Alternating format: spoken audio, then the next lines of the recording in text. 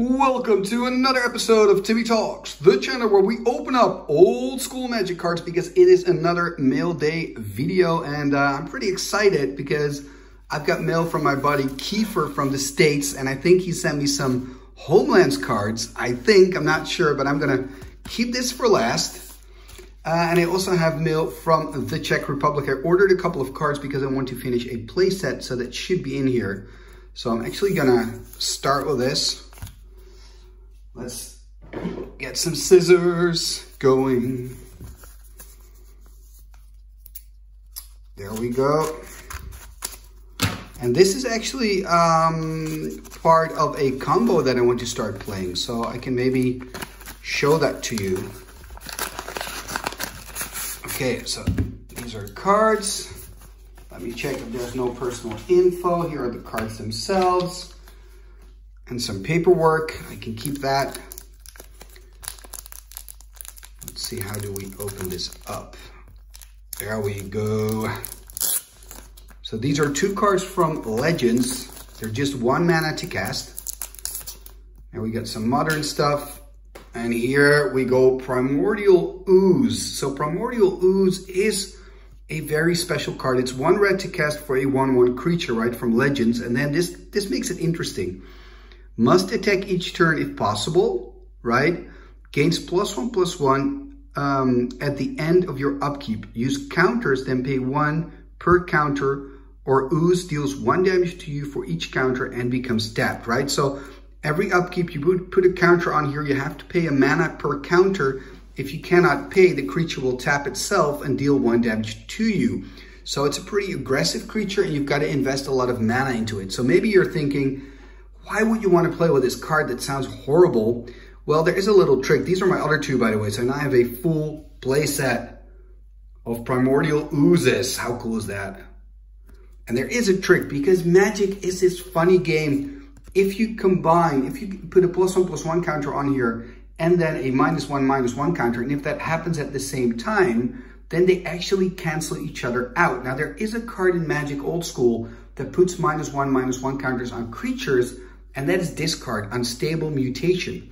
So if you have a primordial ooze and you enchant it with an unstable mutation, it stays a 4-4 forever, you know, because during your upkeep, what happens is primordial ooze puts a plus one, plus one counter on it, making it a 5-5, but unstable mutation puts a minus one, minus one counter on it, making it a 4-4 again. And those two counters cancel each other out according to the rules the modern rules of Magic the Gathering. So if you combine these two cards, you just have a 4-4. You still have to attack every turn, but hey, you know, it's a 4-4. You don't have to pay any mana for it. It doesn't tap itself, doesn't deal any damage, which is pretty sweet. So I kind of, you know, I kind of like that idea.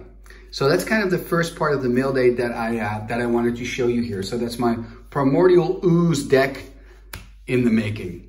And now let's continue with our second envelope. So this is post by Keifer. Open it up. Keifer is actually a patron of the channel and um, yeah, just a great guy. He sent me some cards in the past as well. And I'm actually gonna check Keifer if I have some Chronicle cards for you because I know you've been collecting Chronicles. Look at this, very sturdy. There we can already see the, um, the Homelands cards in here. So by many people, Homelands is regarded as the weakest set. Let's see if I can open it up. Yep, there we go. And um, yeah, you know, I guess that's true. I guess that's true. There are, there are a couple of strong cards in here, but what I like about Homelands most is, is the, um, the history of the set. So it was uh, a design first a set, or how do you say it again, a flavor first and mechanics later set. So they started with the storyline and then they thought of, okay, what are these cards actually going to do? And I, I think that's a pretty cool way to design cards. It doesn't always work out, unfortunately. So here we have an Evaporate. So it deals one damage to each blue creature and white creature. Sorcery speed, three mana, pretty steep. We've got a Spectral Bears. This is actually a card that you used to see some play in the sideboard. So it's a 3-3 for one green and one.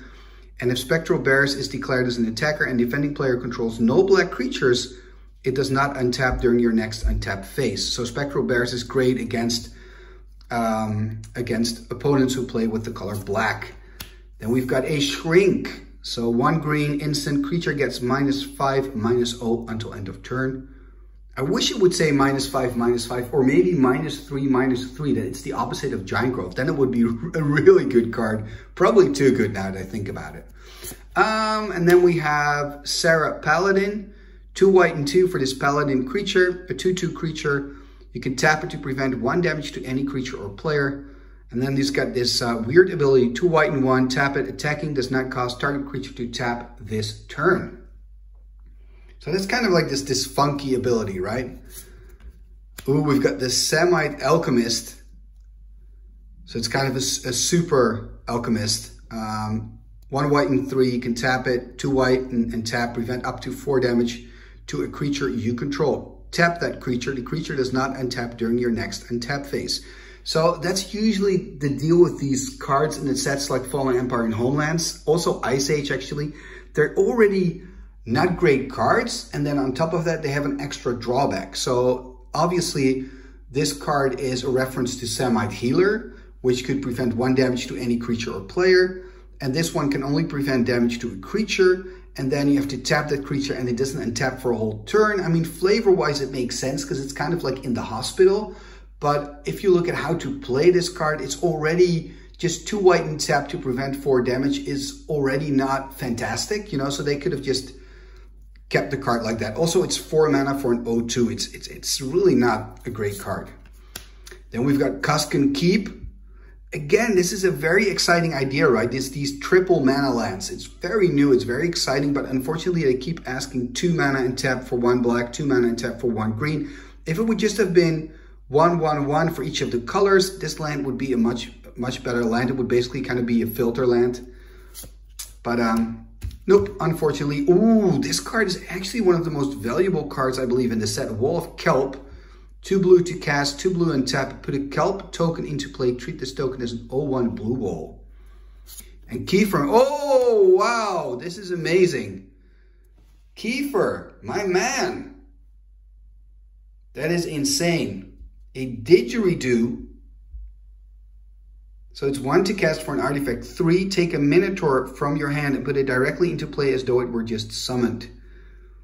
Wow, that is uh, that is pretty insane, Keifer, that you're sending this uh, to me. I, I, now definitely have to step up my game and sending you some Chronicle cards back. This is very, very generous. Um, like I said, Keifer is a patron. We started talking about Homelands on the Discord and said, you know, I've got some Homeland cards. How many cards you still need to finish your collection? And, you know, I just send them a list and say, you know, have a look. I really didn't expect a didgeridoo. It's also in absolute pristine condition. Wow, I gotta, I gotta sleeve this up. I gotta get a sleeve. This is unexpected. Let's have a look. So I got a sleeve here. There we go. So Didgeridoo, a super good card. And, and Minotaur is a thing these days. There's so many Minotaurs. When this came out, you didn't have that many. Actually, Homelands introduced a few new ones that you could play a Minotaur tribal. For the longest time, only Hurloon Minotaur was the only Minotaur in the, in the card game of Magic. And here we see a Cemetery Gate, one black and two, protection from black and 05. Carapace, kind of funky art. That's all I'm going to say. Kind of funky art. I'll let you decide what I mean by that. One green enchant creature. Target creature gets plus O plus 2. Sacrifice Carapace to regenerate target creature Carapace enchants. Actually a pretty decent card. Again, I wish it would give plus 2 plus O instead of plus O plus 2. So it's, a, it's again one of those creatures that you would, or one of those cards that you would think, I wish I could just tweak one little thing not to make it overpowered, but just to make it a little bit more playable. Another Carapace, sweet. And then an Ambush Party. What I love about Ambush Party, these are one of the first cards in the game, together with cards like Nether Shadow, that actually have this haste ability, right? They can attack the turn they come into play, just like a card like Ball Lightning, Nether Shadow. Those are actually the only two that I can think of right now. Uh, and Ambush Party was one of those cards that could do that. So a very um, unique ability on a card at the time. So one uh, red and four for a 3-1 creature with first strike. So again, this card, pretty good. If it would be four mana, it would actually be playable. Another ambush party. So this is amazing. And of course, let's just have another look at the didgeridoo and the beautiful wall of kelp. Let me get a sleeve for the wall of kelp as well. Absolutely beautiful card here. There we go. Sleeving it up. Yeah, absolutely beautiful. Thank you so much, Keifer, for sending these cards. It's uh, it's quite special. You're sending these out to me, man. You're just, you're too generous. Uh, and also thank you for watching another episode right here on Timmy Talks, the channel where we talk old school magic.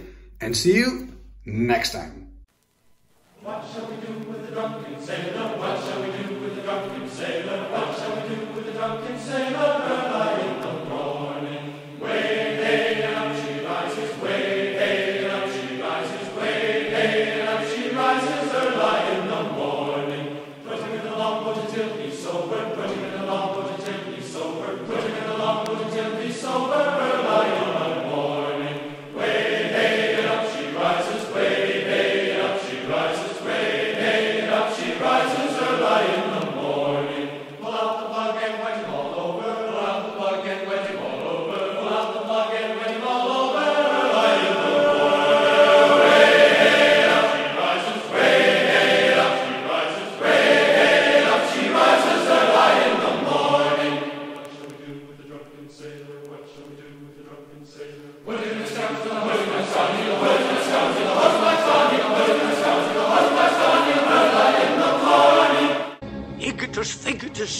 J.